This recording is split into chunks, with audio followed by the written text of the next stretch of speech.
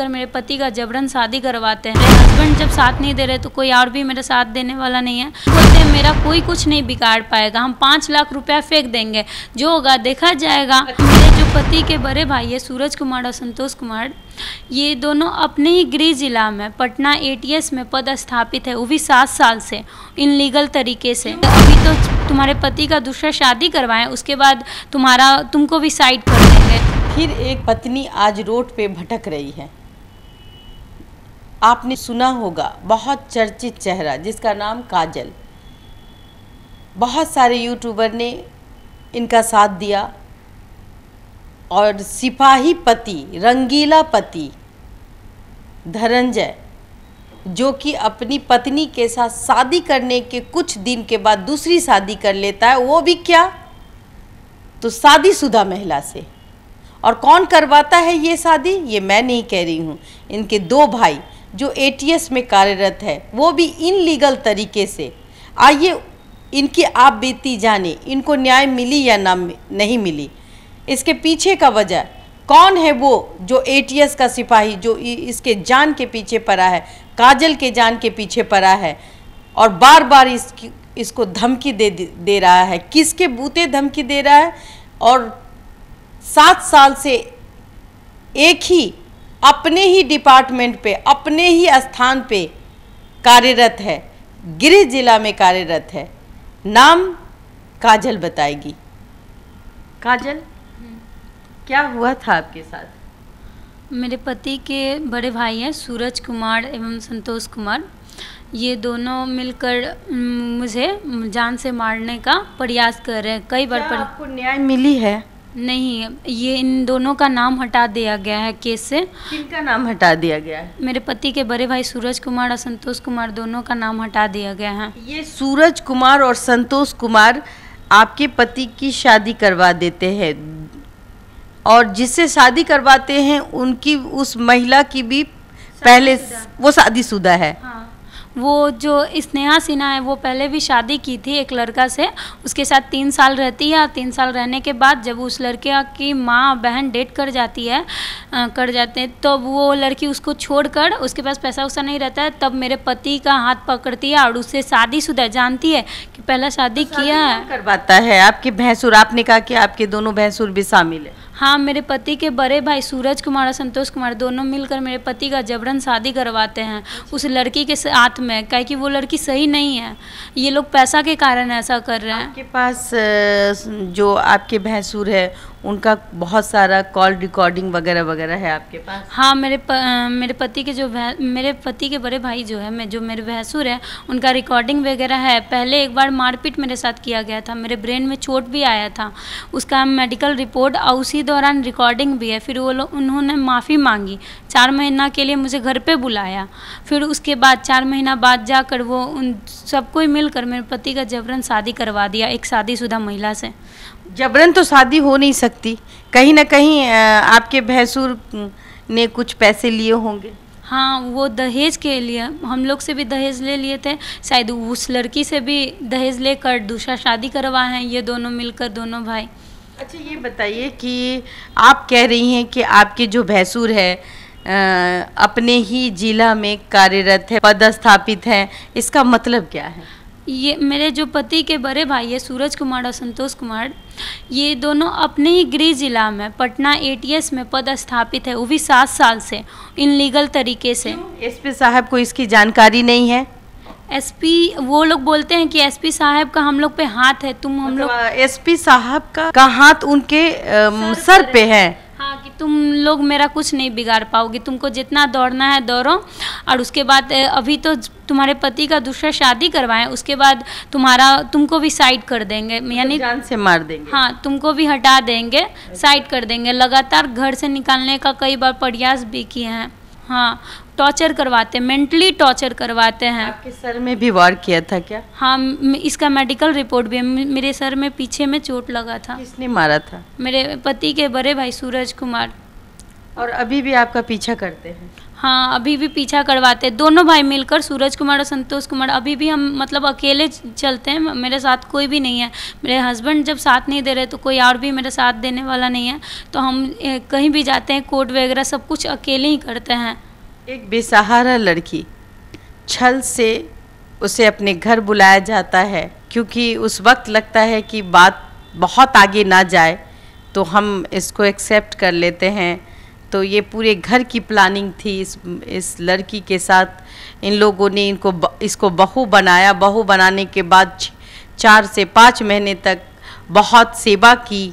उसके बाद फिर एक षडयंत्र रचा गया और वो षडयंत्र का नतीजा ये हुआ कि आपके भैंसुर ने उस किसी और से शादी करवा दी। हाँ दूसरी लड़की शादीशुदा लड़की। हाँ शादीशुदा लड़की से शादी करवा दिया गया। उनका और इनकी बहन भी शामिल है ये लोग मिलकर जाकर के लिए भी नहीं पूछता है कोई आपको? नहीं नहीं कोई भी कुछ भी मुझे नहीं देता। मर रहे हैं कि जी रहे हैं कोई मतलब नहीं? नहीं कोई मतलब नहीं है। पहले भी एक बार भी कॉल नहीं करता? नहीं कोई कॉल वगैरह कुछ भी नहीं आता। आवारा सिपाही धनंजय इतनी खूबसूरत लड़की शायद साल भर भी शादी को नहीं हुए होंगे।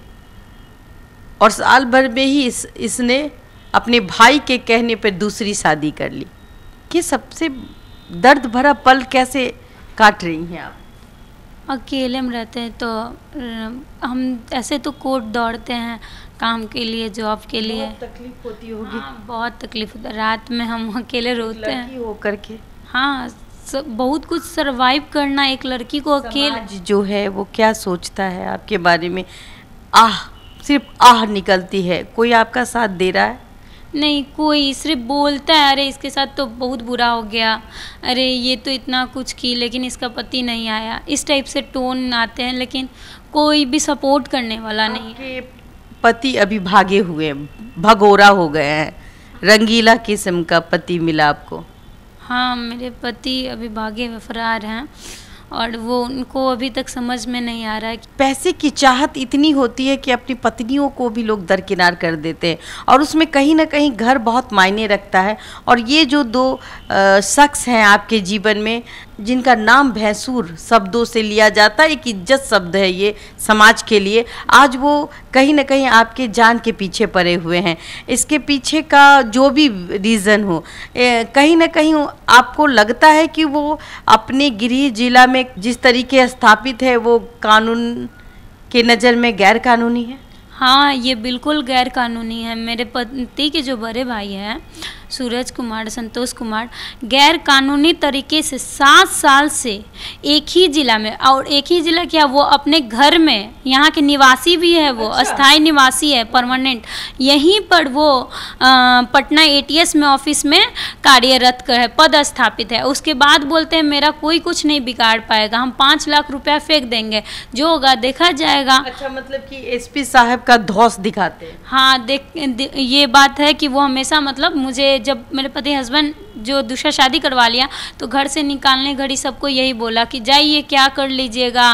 कुछ नहीं हो पाएगा आपका। आप ऐसे ही सबको आड़ पीठ पीछे बोला जा रही रह रही है रह रही है गुड गुड। गरीब मजबूर लड़की हाँ बेसहारा लड़की और जहाँ दो दो सिपाही और सात साल से गिरी जिला में पद स्थापित हैं तो सोचिए इनके पीछे किसका हाथ होगा?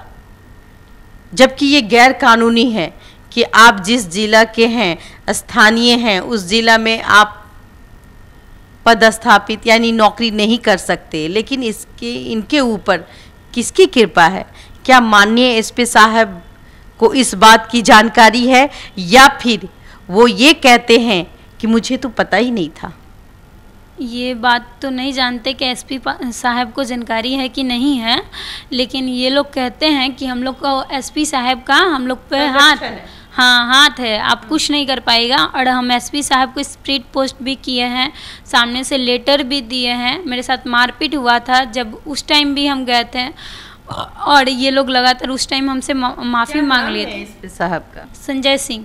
संजय सिंह। संजय सिंह जी माननीय संजय सिंह जी। आ, आप एटीएस के एसपी साहब हैं उचित कार्रवाई करें ताकि एक बेसहारा लड़की जो शादी करके अपने घर जाती है ससुराल जाती है ये सोच के कि उसको सपनों का राजकुमार मिलेगा। वो राजकुमार तो तब तक ठीक था जब तक कि इनके जीवन में दो भैंसूर नाम के शब्द नहीं आते।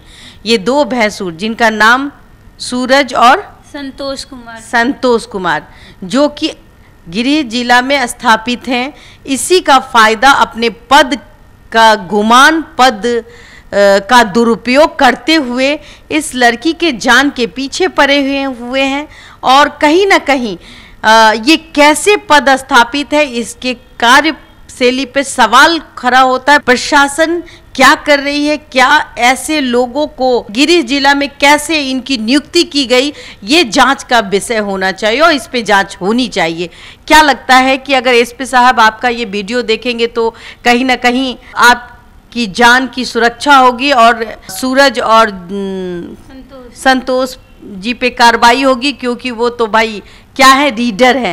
एसपी एसपी साहब के लीडर है मेरे बड़े है या रीडर है? लीडर है। लीडर है। हाँ। कहा जाता है कि ये एसपी साहब के रीडर हैं और इसी का फ़ायदा अपने पद का फ़ायदा इस मासूम लड़की पे उठाते हैं इसको मारने की कोशिश करते हैं। माननीय संजय सिंह जी से अनुरोध करती हूँ कि इनकी कार्य पर जो सवाल खड़े हो रहे हैं, जाँच का आदेश दिया जाए ताकि क्या सच्चाई है। हाँ जाँच की जाए और जाँच करने के बाद उनकी सच्चाई निकल जाएगी। ये सात साल से लगातार अपने ही गृह जिला में, पटना में पदस्थापित है और हमेशा बोलते हैं कि हम तो हम लोग का कुछ भी नहीं हो पाएगा। इसको जो करना है, करने दो। अपने थक के एक दिन खुद को सुसाइड कर लेगी। ऐसा कुछ है, लेकिन हम, ऐसी लड़की नहीं है कि हम खुद से सुसाइड कर लेंगे। अगर हमको कुछ होता भी है ना तो इन इसके पीछे अगर हम उनके घर में रहते हैं अगर हम खुद से मरने वाली लड़की चाहती हैं एस पी? साहब से आप कैसे आपकी जान की रक्षा हो? माननीय एसपी साहब को संजय सिंह जिनका नाम है उन उनसे प्रार्थना है कि मेरी जान की रक्षा की जाए और मेरे भैंसुर जो है सूरज कुमार और संतोष कुमार उन दोनों पे कार्रवाई की जाए। फ़िलहाल के लिए देशवा न्यूज़ में इतना ही। एक बेटी जो समाज का आईना होती है, उसे बचाने की जिम्मेवारी हमारी और आपकी होती है। अगर आपको ये वीडियो अच्छा लगे तो शेयर लाइक कमेंट ज़रूर करें। धन्यवाद।